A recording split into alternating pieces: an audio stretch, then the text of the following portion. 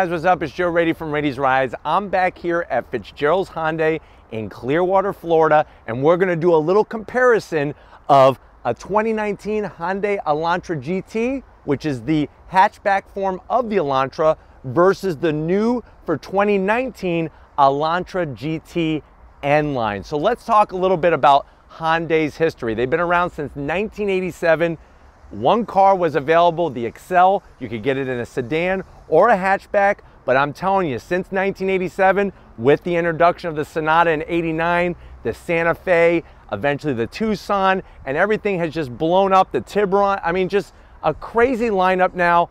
The new Palisades coming out, lots of excitement from that South Korean car manufacturer that a lot of us have come to know and love because at the end of the day, you're gonna get reliability, you're gonna get one of the best warranties in the business, and you're gonna get some really cool style and features. So let's go ahead and see how do these two differ from a base to a top tier lineup. So with the Elantra GT, when you say GT, we're just talking about hatchback. No performance there. You can see the headlight design, the functional air curtain. So what that means is, is when air hits the front fascia, it's gonna go into that air curtain and go down the side of the car. That is something to increase aerodynamic efficiency. I do like the gloss black and it works very well with this grille. And the thing that I like about the grill is I like all the little silver accents. And I think it was very, very smart to put this integrated front lip spoiler into it. It really makes the car look more sporty um, from, you know, its intentions. And this car is straight to go up against the Golf, the Volkswagen Golf. Now with the GT N line, Hyundai's working on a performance brand. They're calling it the N brand. This is not a full N car okay? What this means is, is that you're gonna get some performance and some extra styling tweaks, but it's not going all the way because this car in Europe is called the i30 and they have an N version in Europe. We don't have that, we have the Veloster N, but with this Elantra GT N line, you could see the difference in the front fascia. Much more aggressive, still those functional air curtains on the side. I like the flat black. I like the flat black better than the gloss black. It not only looks good, but it's gonna take a better beating. You could see the lower lip spoiler all the way across the front. I am gonna zonk this. I would like to see it come out a little bit further, but I love the style of the grill, the flat silver, and really the headlight design is so unique on this Elantra GT and Elantra GT N line. But why don't we go ahead, we're gonna take a look down the sides of these two Elantra GTs and see what's different. All right, so with the Elantra GT, this is the standard headlight design that you're gonna have, and you'll see when we focus more on the side of the N line, the GT N line, they do put a different headlight housing. The whole thing is different, and I think that's a cool feature to help separate the two different versions. As we come around to the side, here is our standard wheel. So this is a 17 inch wheel. I like the brushed aluminum. I like the darker metallic gray, and it really works well with this silver color on this particular one. I think they hit the nail on the head with choosing 17 inch to go up against, like I said, what the features you see on this, very similar to what the Volkswagen Golf is gonna have. And the Golf is been such a long-standing seller here in the United States that Hyundai wants to take some of that market share from them. As we go down the side, they do take the beautiful silver, sprinkle it on the mirrors, and there is no turn signal. So I like the way it's flat black. I am gonna zonk it though, because I would like to see an LED turn signal. Chrome trim around the top and bottom of the window frames. As we come down the side, nothing too aggressive with the side skirt or anything like that. I like the rear quarter window and as we come to the rear, this is where it, it really, you could tell that they looked at the Volkswagen Golf. Very low roof uh, spoiler coming off the back. I do like the way it's, it's black to the silver. Now the only problem with it being this gloss black is that it's gonna show wear a little bit more than if it was just all silver, but it looks really, really great at the back. And probably one of my favorite setup with tail lights is on the Elantra GT. I like the way the, the uh, taillights are set up. Uh, and I also just like how clean the back is. You can see the lower portion here is flat black. I am gonna zonk it because there's no exhaust coming out the back, at least one.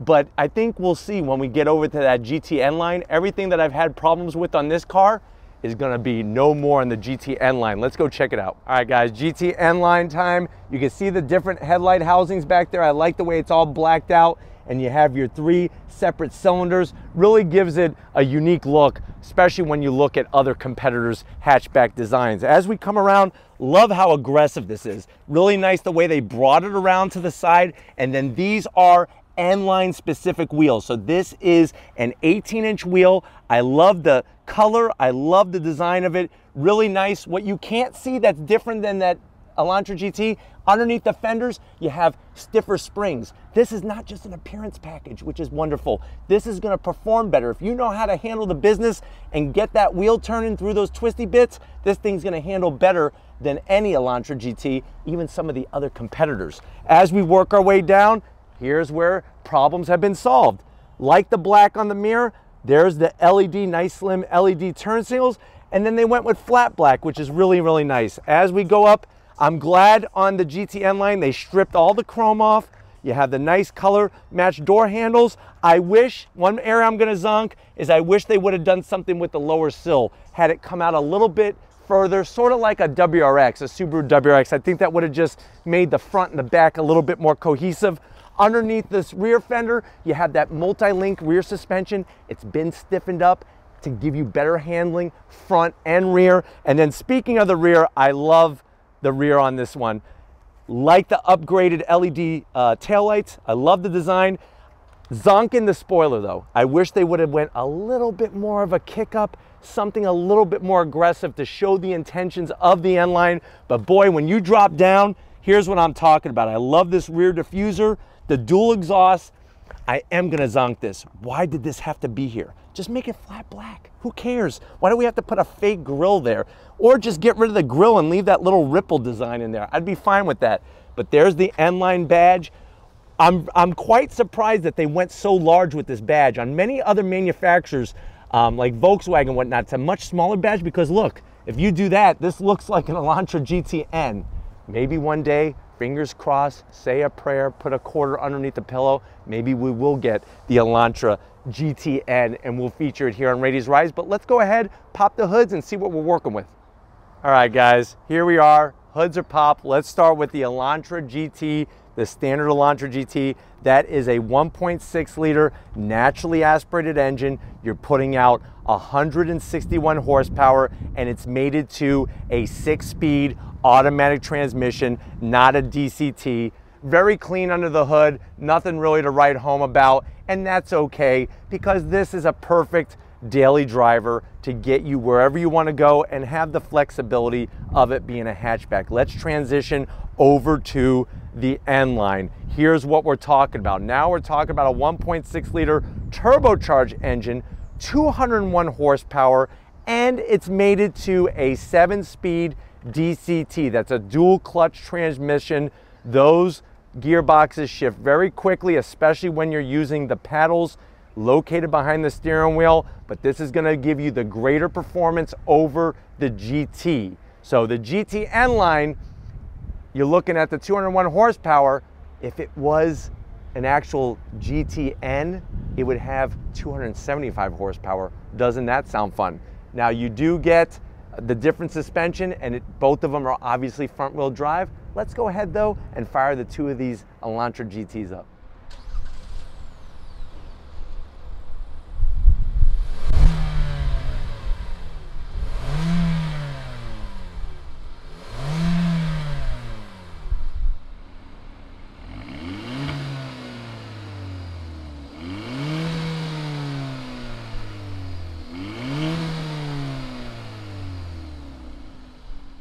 All right, guys, we're inside the 2019 Elantra GT.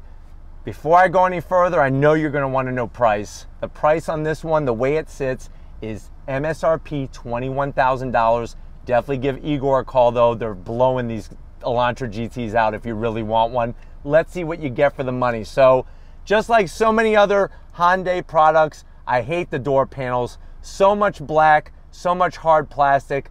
Only thing that's silver is just the door handle to open it. Everything else is harder plastic. You do get a nice assortment of places to put your drinks in the cup holder pocket down there. So that is a really nice feature. But overall, this car is about bang for the buck. When you get to the dash though, soft material up top, harder in this area, but I do like the orange peel texture. It's not too overly done. You have a nice size uh, uh, infotainment system, touchscreen, of course, all your different controls. You could just push the button if you don't like to touch the screen, but uh, Android Auto, Apple CarPlay, really nice feature. You could go back home. There we are. Go back into menus, and there's your swipe feature, just like any cell phone.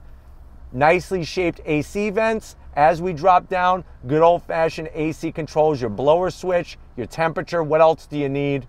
Down here, they got you covered. Hyundai's got you covered. Two 12 volts, a USB, and an aux jack there. Nice little cubby area. I'm not even gonna complain about a door at this price point.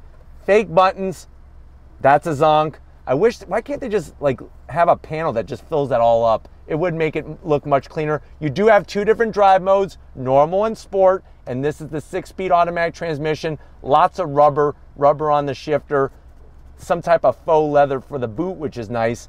Good old fashioned e brake, no frills, two cup holders, a hard armrest, but it's there. Open it up, you got a nice cubby, and then the seats.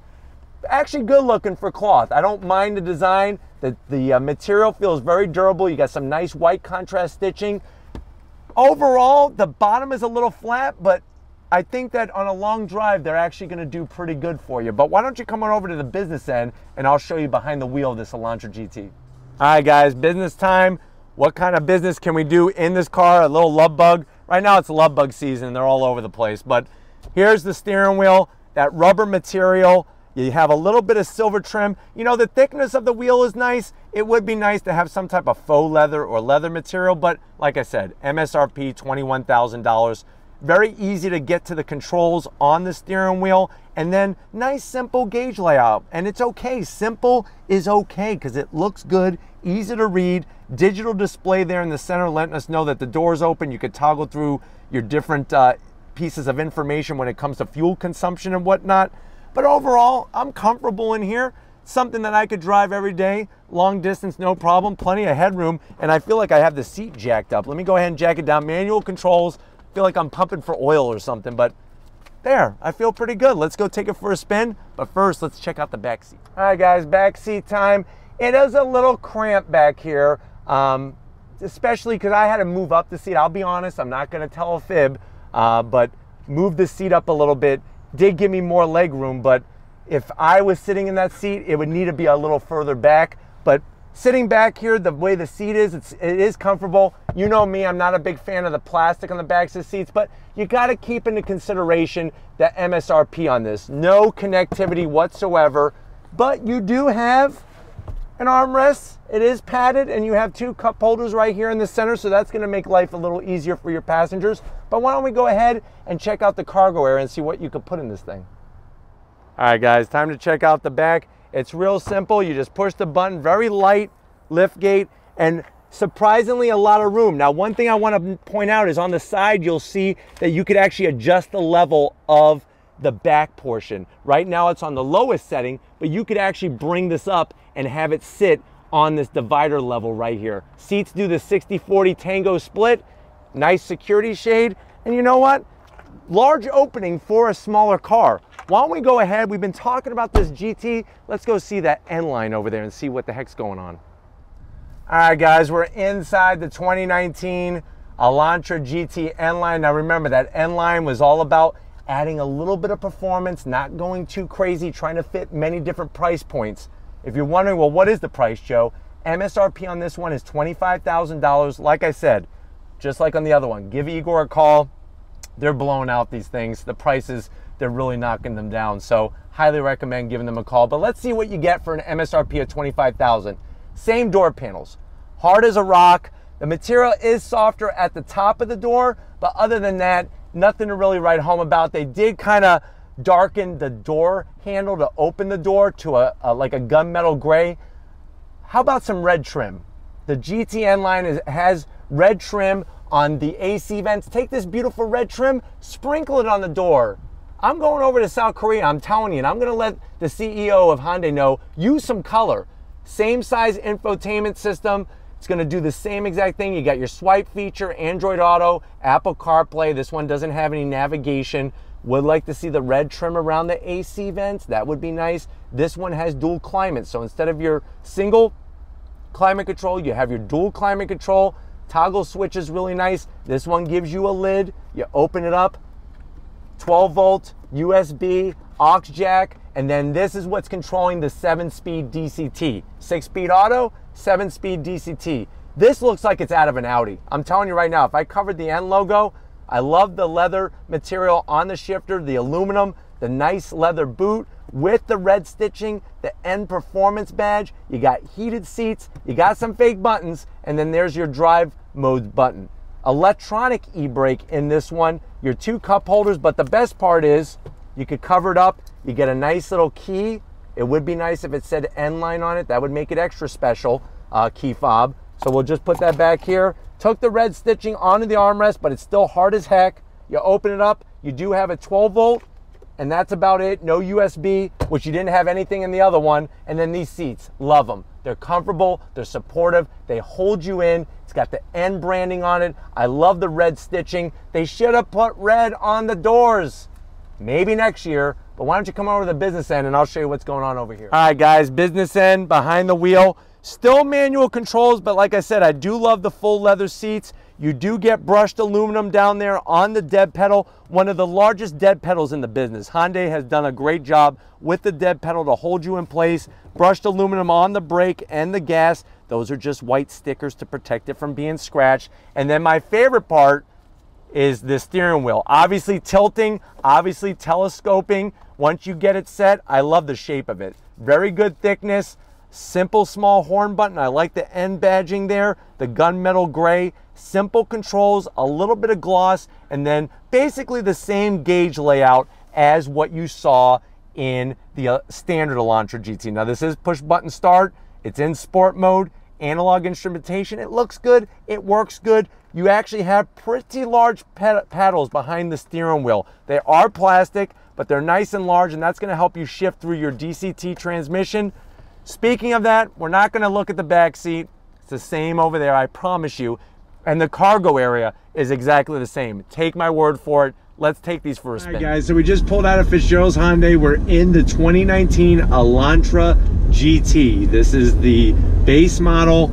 Um, as the Elantra GT comes from the factory, everything just standard affair. That naturally aspirated engine, about 161 horsepower, six-speed automatic transmission. You know, great visibility out the front, really great visibility all four corners. The back window especially uh, is very large and, and looks really good. You're able to see everything. I'm telling you, these infotainment systems that are the iPad style, they may look a little bizarre, but it's easy to get to things and it's easy to see. And the screen that they use on the Hyundai products doesn't have any glare whatsoever. The instrumentation could use a little bit of help. It looks very rental car-ish, but we got to compare apples to apples. It's something that if you went with a higher trim level, then you would get a little bit nicer setup there. But it gets the job done and it's easy to read. Let's do an acceleration here from a slow roll. So 0 to 60 in the Elantra GT is going to take you about 7.9 seconds, which is a little bit on the slower side. Wait until we get in the GTN line. You'll see what I'm talking about. With that 201 horsepower, with the DCT, it's going to be much quicker. I promise you that. But overall, it's very comfortable in here. It gets the job done. It just, you know, there's a lot of black in here. If you don't mind that, it's really not that big of a deal. I guess the good news is fingerprints. It's not going to get a bunch of fingerprints all over the place, but tipping it in, handles the way it's supposed to. There's a Miata over there going backwards. I don't, I don't know what country they do that in, but, but just a very smooth driving car. AC works great. And I think the thing I like the most about this compared to the N-Line is this one actually has the two 12 volts and the USB and the aux jack where the GTN line only has one 12 volt up front here. The cabin is actually on the quieter side, which is a nice surprise. And I, like I said, I just think this really gives people good value for the dollar. Let me go ahead and get on the loud pedal. Drops down. Shifts are smooth. I do like the thickness of the steering wheel. I just don't like the rubber material, but we just got to keep remembering that this is not the N-Line. Brakes feel good, good pedal modulation. Back on throttle.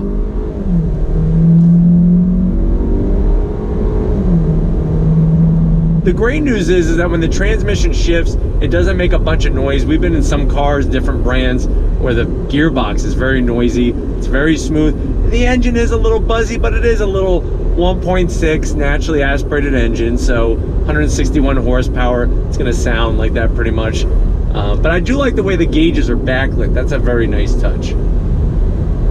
But we're gonna go ahead and switch seats and get in that GT N line. That's where the fun factor is gonna really go up compared to this Elantra GT. Plus you still get all the great usability of the hatchback design. But let's go ahead and I'll see you in a split second. All right guys, rolling out of Fitzgerald's Hyundai. We're in the Elantra GT N-Line and the acceleration, you can tell right off the bat, 201 horsepower out of that inline four turbocharged engine. Right now I'm using the paddles to shift the DCT. It tells me I'm in fourth gear and it's very easily displayed, which is nice. But on throttle, my only major gripe with the driving experience of the N-Line is I need a little bit more sound. Can we just have a little bit more sound coming from the back? I'm gonna put it in sport mode here. You'll see it lights up sport, but even in sport mode, you're not getting the sound like you think you, you would and that you should. But just like on the Elantra GT, visibility is great. And even I think the suspension just, even when you're going straight and narrow uh, in the GTN line is, is far superior than in that Elantra GT. You do also have a little bit different brake pad um, material to help you slow down a little bit quicker and we're gonna do that in a split second here. So we're in sixth gear, gonna make a right hand turn on the brakes, downshift, fifth, fourth, third. Really holds a line nice and not a lot of torque steer coming from the front end. Because remember, this is front wheel drive, 201 horsepower. Sometimes that could be a little bit too much for those front tires to hold, but you know what? Pretty good size on that rim and tire setup uh, at the front end of the business, which helps you hold the line better with the uh, N-line. But you definitely can feel the difference in the way that this handles compared to the Elantra GT. Right, guys, acceleration with that 201 horsepower is very, very nice. The boost comes in at a very low RPM. Downshifts, you could hear I'm using the paddles.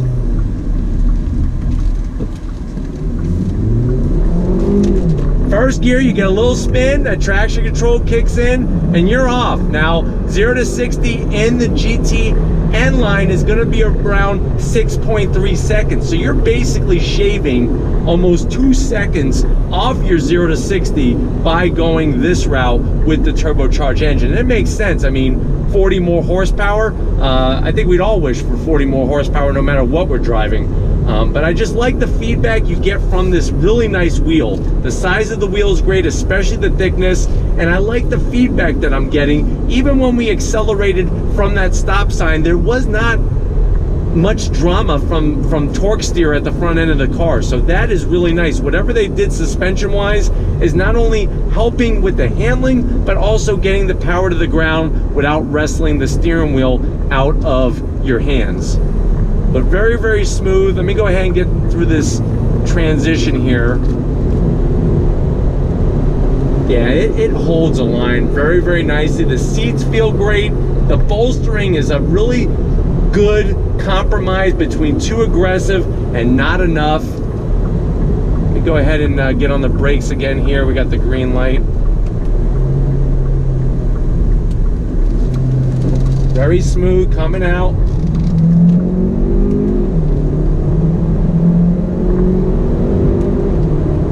Just wish there was a little bit more sound coming from the exhaust. That's all. I think if there's just a little bit more sound for the price point, this would be a great buy. And please put some red trim on the door panels. If you put a little bit of red trim around where the door panel, the door handle is, uh, I think you'd have a nice cohesive package, especially around the AC vents here. But hopefully this gave you a great comparison that, hey, a, a little bit more will get you a lot more when you're sitting behind the wheel in this GT N line and the extra styling, which is really nice. Let me go one more time, see if I can get this right-hand turn here. Really nice. Look at that. That's really nice. I, I really enjoyed that. But we're back to Fitzgerald's Hyundai and we're gonna wrap this one up so I'll see you in a split second. All right guys, it's been a fantastic day here at Fitzgerald's Hyundai. Definitely got to give a huge thank you and a huge shout out to Igor and everybody here at the dealership just opening up the doors, getting not only one, but two for a comparison. If these are the types of comparisons you like to see on Raiti's Rides, leave a comment in the comment section. If you're new to the channel and you're on your way out, hit that subscribe button. I promise you it's worthwhile coming back for more. If you are a subscriber, thank you for being part of the Raiti's Rides family. If you want to help the channel, help support us, and get yourself some Raiti's Rides merch, click the link in the description, takes you right to the Spreadshirt, and we got to give it up for the Big Guns McGee. Bigger heart, bigger soul, bigger mind. Tom Moschner working the camera. Thank you, Tom, for all your hard work. Check him out on Instagram at Mosh Photos. He actually has a picture of his heart on his Instagram profile. So check that out. So thank you, Tom. And just like always, I'll see you on the next ride.